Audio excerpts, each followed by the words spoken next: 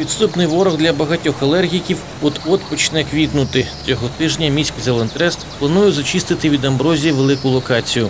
Поле бур'яну на вулиці Інглезі комунальники оброблять препаратом стоп амброзія. Наявні близько 500 літрів речовини.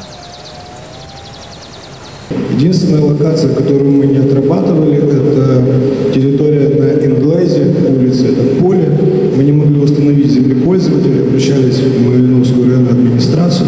но пока что безуспешно. Но учитывая количество жалоб по данной территории, то мы на этой неделе подключимся и приступим к работе. Период цветения начнется через неделю-полторы. У міськзелентресті нагадали про існування електронної карти, на яку одесити наносять осередки проростання алергічного бур'яну. На підставі цих даних співробітники швидше очищають ділянки.